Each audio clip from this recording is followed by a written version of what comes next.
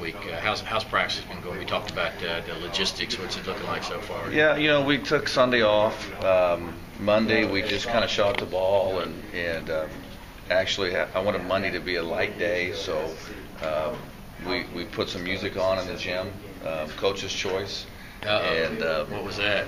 Oh, we had a real mixture. We, we had Stevie Wonder in there. We had we had lots of stuff. little Michael Jackson. We had a lot of stuff from from uh, yesteryear. But uh, um, and then you know had a really good hard work day yesterday, and then today we'll we'll go back to work. What's the challenge of uh, not knowing, and I guess that there's three possibilities now who you might be playing?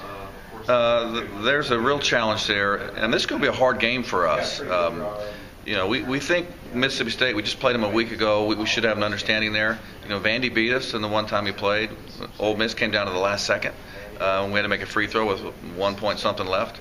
Uh, so, um, you know, I think our guys understand it's going to be a hard game. The the the challenge is is trying to to prepare a little bit for two teams or three teams and and um, refamiliarize yourself with those people.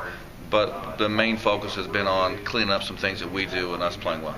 Do you wait for the game tonight, or do you do a full scout for the three? Is that already? No, no, we won't. We haven't done a full scout for the three yet. No, we've been mostly focused on ourselves.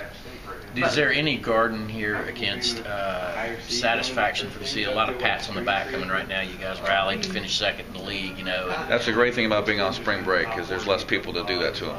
right. You know, and uh, so you know, yesterday I, I uh, we made sure they were they were geared back on uh, on going to work and playing the game the right way. About a challenge of being one of two, the the last final team to play on Friday night, playing so late, is the, the waiting around, is that an issue? Yeah, I mean, uh, that's probably harder, I would guess, maybe for coaches than it is players. I mean, I, you know, it's a long day for sure, uh, but it'll be a long day for, for both teams, and uh, you know, we'll have to make sure we, we, we manage our minds that day.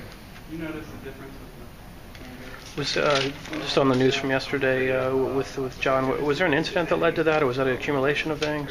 No, John just wants to go someplace and play more, you know, and uh, and we wish him well. He's a good kid. Timing's a little un- Yeah, the time is never good, you know, and uh, but uh, you know, hopefully our team will be playing for a while, and um, so it's, it's his decision to go now.